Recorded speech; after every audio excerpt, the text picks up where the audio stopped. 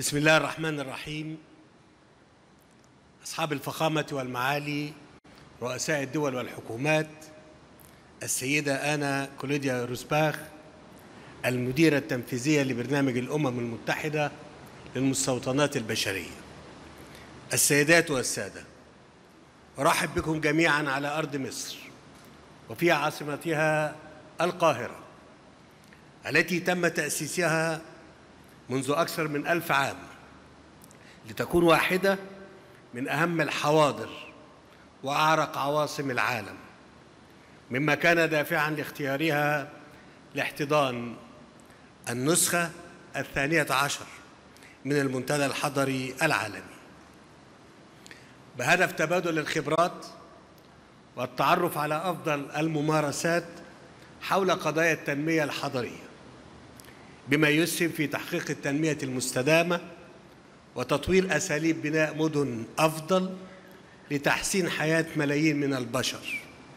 لا سيما في ضوء ما تشهده المدن والتجمعات السكنية من تحديات غير مسبوقة تتعلق بالنمو السكاني السريع وتغير المناخ وندرة المياه والتنمية المستدامة وفقدان المسكن وتوفير التمويل اللازم وهو ما يتطلب تضافر جميع الجهود الدولية لإيجاد حلول مبتكرة وفعالة لمواجهتها. الحضور الكريم تأتي هذه النسخة من المنتدى في وقت حاسم يواجه فيه العالم أزمات دولية متلاحقة وحروبا لها تداعيات مدمرة على المدن والتجمعات السكانية. وعلى كل مناحي الحياة فيها وهو ما يستدعي حشد الجهود والإرادة السياسية لإحلال السلام ووقف النزاعات والصراعات وتركيز الجهود على مجالات التنمية وإعادة الإعمار والبناء.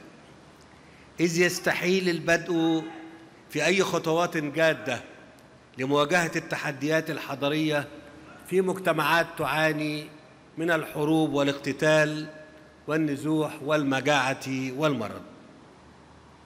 ولعل ما تشهده منطقة الشرق الأوسط من حروب وصراعات خاصة الحرب الدائرة في قطاع غزة ولبنان.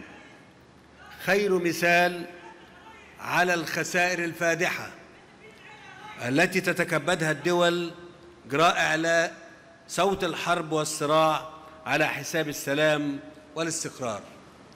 إن المعاناة اليومية التي تعيشها شعوب تلك الدول تتطلب استجابة فورية وفعالة لوقف نزيف الدماء والدمار والشروع في البناء والتنمية وتحرص مصر دائما على تقديم كل سبل الدعم لأشقائها لوقف العنف وتخفيف حدة التداعيات الإنسانية والاقتصادية والاجتماعية المترتبة عليه. السيدات والسادة رغم ما يحيط بنا من أزمات حققت مصر في السنوات الماضية إنجازات كبيرة.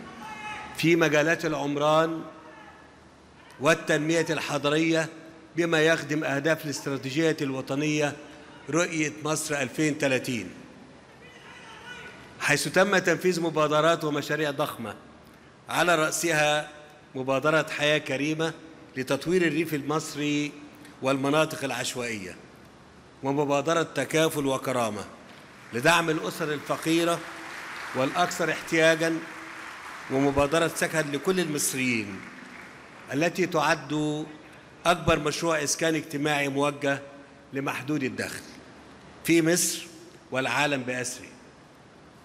كما قامت مصر بإنشاء جيل جديد من المدن يتبنى معايير الاستدامة والذكاء الرقمي على رأسها العاصمة الإدارية الجديدة ومدينة العالمين الجديدة ضمن 22 مدينة أخرى. تم بناؤها بشكل متزامن في مختلف محافظات الجمهورية إلى جانب تدشين مشروعات لتطوير العشوائيات والمناطق غير المخططة وغير الآمنة فضلا عن تحديث وسائل النقل والمواصلات.